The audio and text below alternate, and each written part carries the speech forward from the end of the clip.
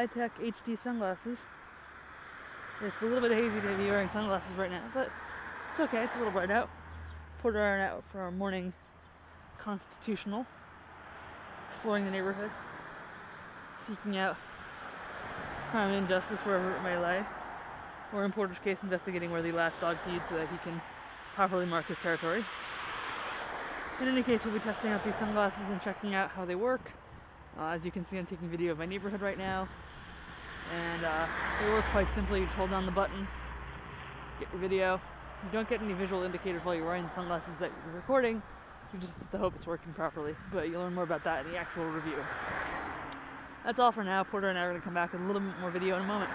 Have a great day.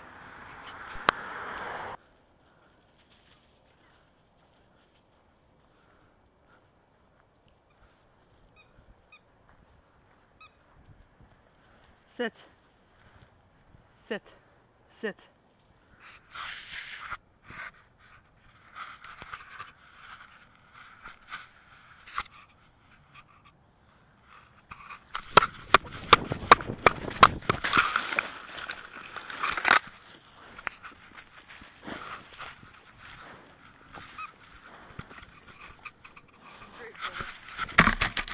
Good job.